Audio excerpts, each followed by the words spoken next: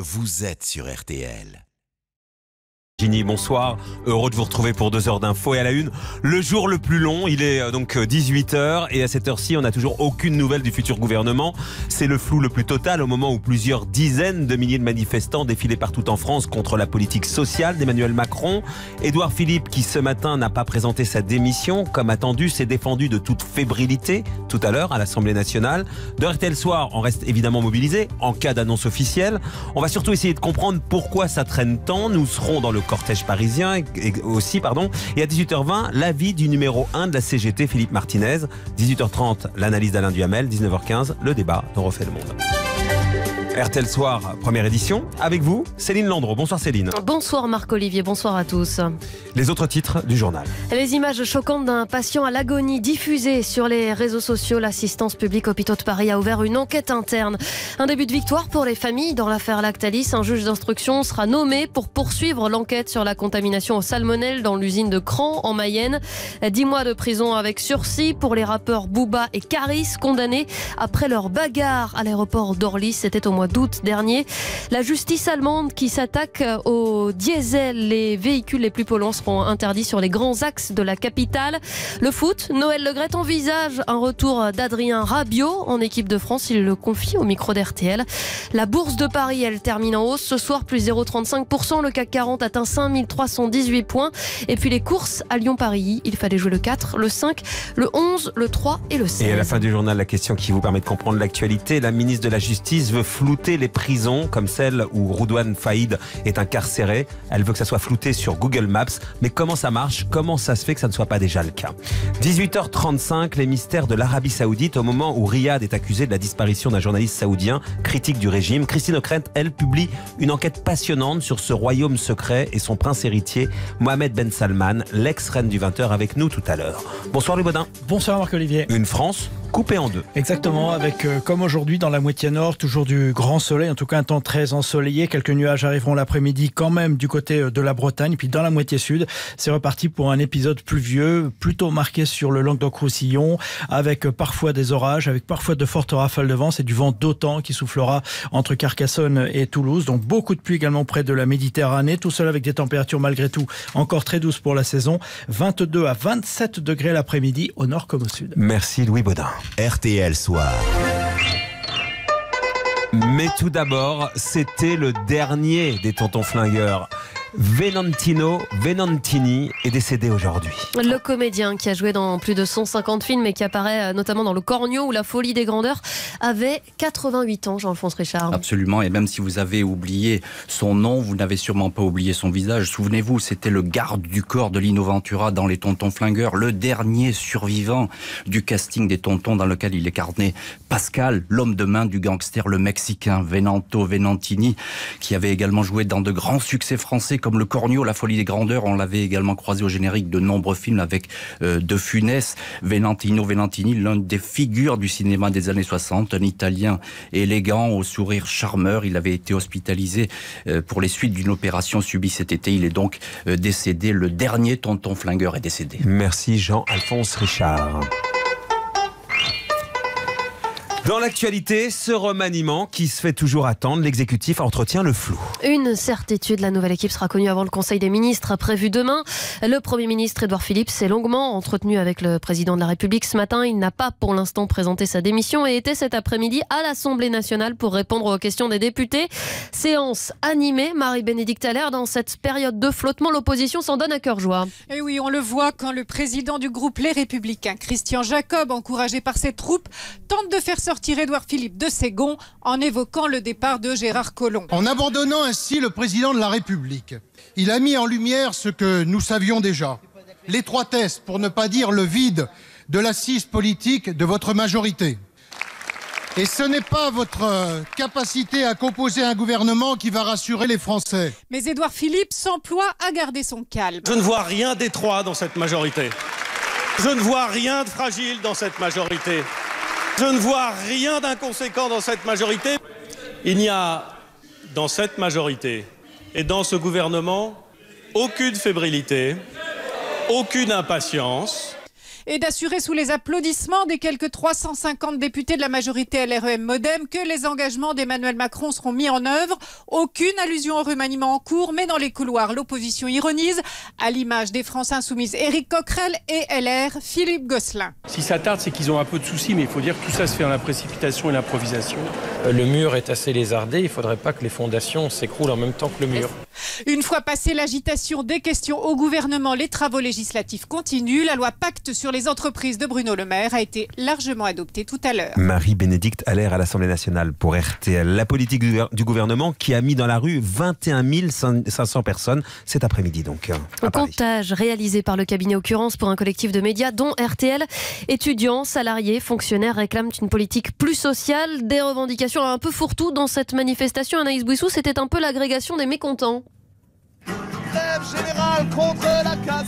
Oui, au ballon rouge de la CGT se mêlaient des pancartes d'hôpitaux, de fonctionnaires, d'étudiants et même de retraités. Un joyeux mélange sans mot d'ordre unique, à l'image de Mathilde qui n'attend pas de résultats précis. Quelle arme a Le syndicat de lutte de classe Peut-être qu'il n'y a pas de gain immédiat quand on manifeste, quand on proteste, quand on fait des grèves, mais à terme, ça délégitime quelque peu la politique gouvernementale. Pour Jacques, militant retraité CGT, revendiquer contre la casse des retraites est primordial. Je sens méprisé. C'est la première fois que je vois un gouvernement qui s'attaque à une catégorie et qui baisse son pouvoir d'achat.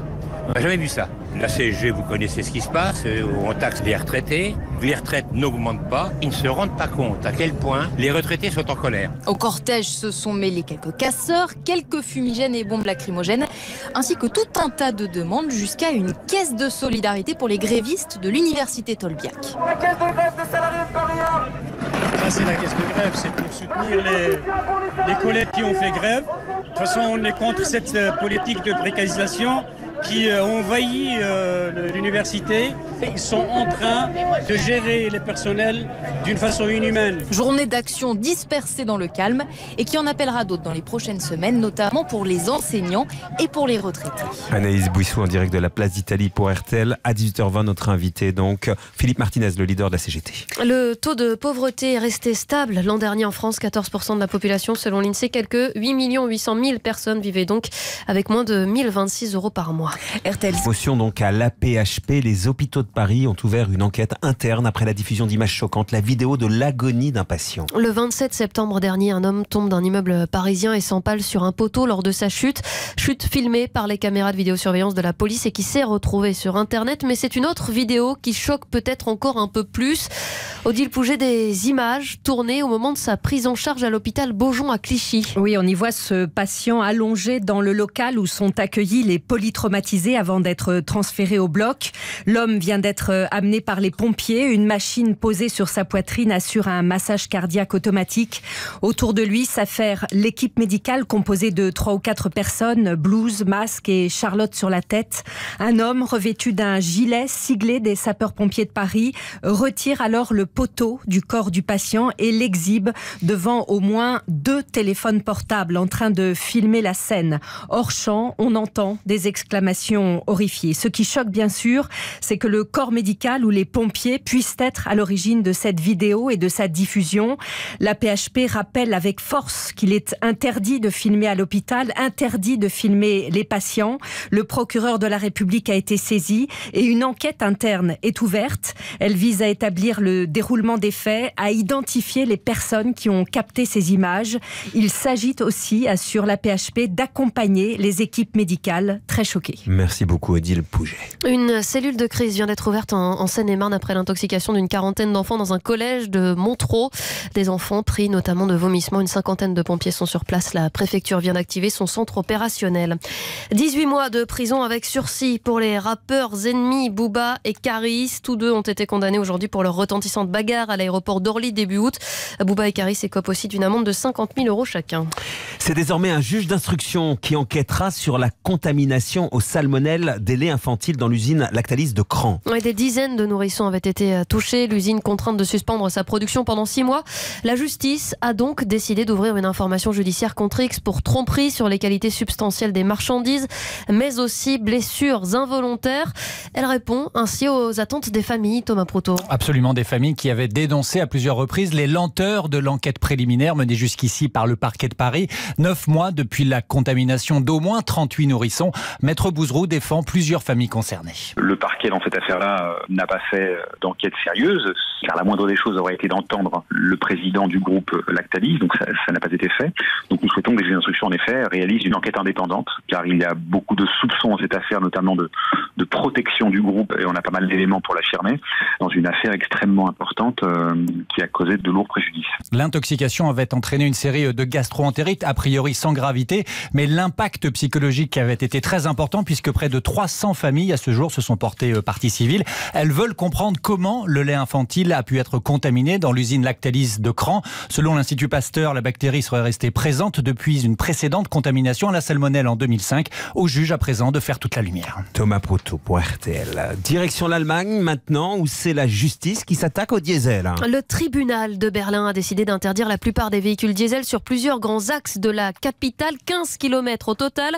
La mesure entrera en vigueur dès le 1er avril. Les juges prennent ainsi le contre-pied des responsables politiques, Blandine Milsan. Oui, les diesels qui vont jusqu'à la norme Euro 5, donc qui ne sont pas forcément très vieux, certains n'ont pas plus de 3-4 ans, eh bien ces diesels ne pourront plus rouler au printemps prochain sur 11 axes dans le centre de Berlin, 15 km au total, effectivement. C'est ce qu'a décidé cet après-midi le tribunal administratif de Berlin. La ville a l'obligation de revoir sa copie en matière de lutte contre la pollution, car les normes d'émissions polluantes sur ces axes-là dépassent les limites autorisées.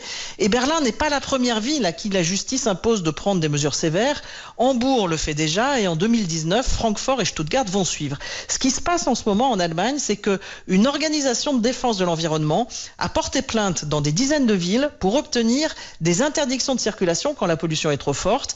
Et en face, vous avez le gouvernement, le monde politique qui veut ménager son industrie automobile parce que ça représente 800 000 emplois et qui cherche donc à éviter ces interdictions avec d'autres mesures, des primes pour changer de voiture, des limitations de vitesse à 30, le développement des transports en commun. Mais la justice a donc dit encore une fois aujourd'hui que cela ne suffisait pas. Merci Blandine 1100 en Allemagne donc pour RTL.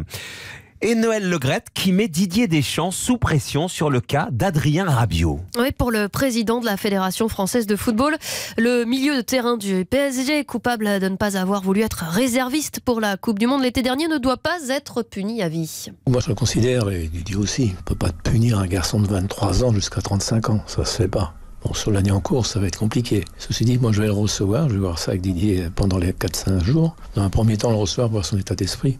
Je peux parfaitement déclarer, moi, l'équipe de France, euh, je n'ai plus tellement envie, ou bien je suis disponible. Et puis là, Didier décidera. Rendez-vous est pris?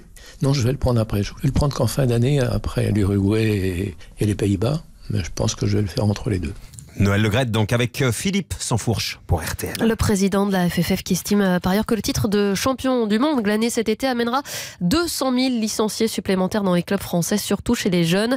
Les champions du monde, eux, retrouvent le terrain après demain. Ce sera face à l'Islande en amical. Merci beaucoup Céline, vous revenez tout à l'heure à 18h30. Les clés pour bien comprendre l'actualité.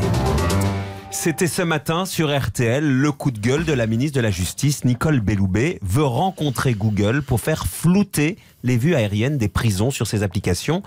Mais comment ça marche? Comment ça se fait d'ailleurs que ce ne soit pas déjà le cas, Sophie Jousselin? Mais ça devrait l'être. Les prisons, tout comme les centrales nucléaires, les zones militaires, font partie des 247 sites qu'il est interdit de photographier et de filmer. Cette liste est définie par un arrêté du 27 octobre 2017. Mais qui n'est pas rétroactif. Donc sur certaines photos prises avant la publication de l'arrêté, les établissements ne sont pas floutés. Par exemple, les centrales nucléaires du Tricastin de Flamanville, la prison du Réau, d'où s'était échappé Redouane Faïd, d'autres images plus récentes, hein, la prison de Saint-Martin-de-Ré ou la centrale nucléaire de Fessenheim, sont-elles floutées? Et alors à qui la faute, évidemment? Alors Google explique que le floutage ne dépend pas de ses services, mais des partenaires auprès desquels il achète les images, Airbus, Digital Globe et l'IGN, l'Institut national de l'information information géographique qui affirme qu'il floute bien les sites sensibles sur les images récentes prises après la publication de l'arrêté, mais que les autres plus anciennes doivent être renouvelées et que ça ne se fait pas d'un claquement de doigts, ça peut prendre jusqu'à trois ans. Cependant, Google m'a quand même affirmé ce matin que les pourparlers avancent et que les 247 sites devraient être floutés d'ici quelques semaines. Merci Sophie Jousselin.